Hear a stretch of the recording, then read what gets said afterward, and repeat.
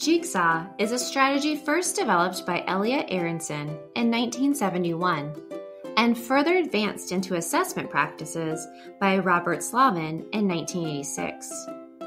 It began as a method to assist students who had recently been desegregated and were learning to overcome hostilities and work together. In addition to the benefits of the students getting along, Slavin realized that students' learning also greatly improved. Just as a jigsaw puzzle is a collection of various pieces coming together to make a complete picture, the jigsaw method of teaching tasks each student with becoming an expert with part of the learning puzzle. After a student studies that piece and meets with an expert group of peers, he or she brings it back to a home group to share, thus completing the puzzle.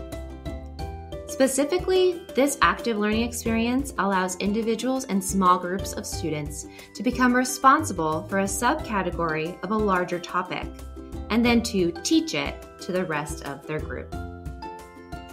According to the meta analysis of John Hattie and Visible Learning, Jigsaw has an effect size of 1.2, the highest of any teaching strategy, revealing that this active learning experience has the potential to considerably accelerate student achievement. Jigsaw is most effective when used frequently, which will help students internalize the process and recognize its benefits for their own learning. The first time students engage in this strategy, they may feel discombobulated by the cooperative groupings, steps, and directions. So it is essential that the teacher not only provide the directions up front, but that they direct the students with each step of the process stopping and starting as the experience unfolds, and pausing for questions and clarification. Here are some tips to use before starting a jigsaw with students.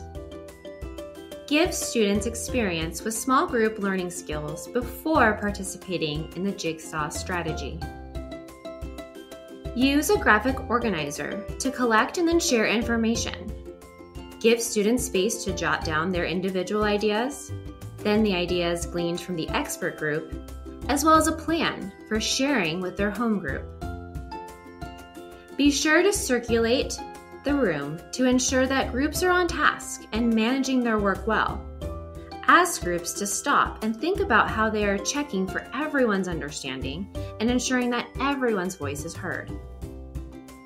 Monitor the comprehension of the group members by asking questions and rephrasing information until it is clear that all group members understand the key points.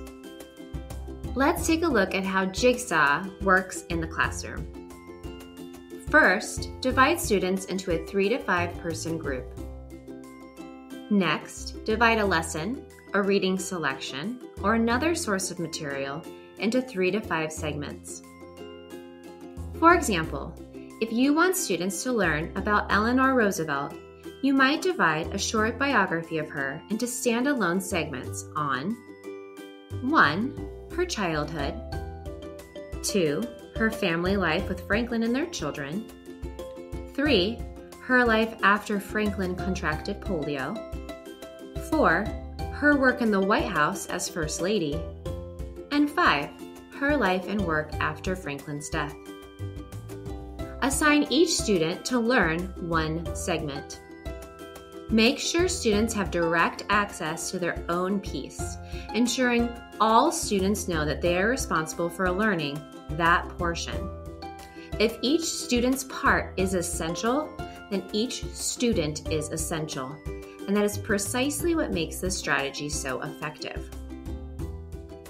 Give students time to review, read, and annotate their segment at least twice and become familiar with it, but assure them that there is no need to memorize it. It is important that the reading material assigned is at an appropriate instructional level. Now, have students form temporary expert groups by having one student from each jigsaw group join other students assigned to the same segment. Give students in these expert groups time to discuss the main points of their segment, providing key questions to help them gather information in their particular area. They also need time to rehearse the presentations they will make to their Jigsaw group. Remind students that these presentations are informal but need to be complete and accurate as they are teaching their peers their segment. Finally, bring the students back into their home group. At this point in the process, discuss the procedures and guidelines as each expert reports the information they learned and gathered.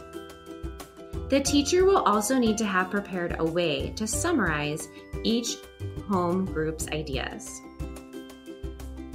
Each student will present his or her segment to their group. Remind students that they are responsible to learn all content, each piece of the puzzle, from one another. Encourage others in the group to ask questions for clarification by providing those sentence stems. The teacher should float from group to group, observing their presentations and discussions. This is a perfect time for formative assessment. Once each expert has shared with their home group and the jigsaw puzzle is complete, have students individually write a summary of their learning using a summarization strategy such as a capsule or a $1.50 summary. Teachers can also have a brief whole class discussion about the source of the jigsaw to answer any questions or clarify any misconceptions. Jigsaw provides opportunities for differentiated instruction for second language learners, students of varying reading skills, students with learning disabilities, and younger learners. Jigsaw in the Classroom has a four decade track record of success.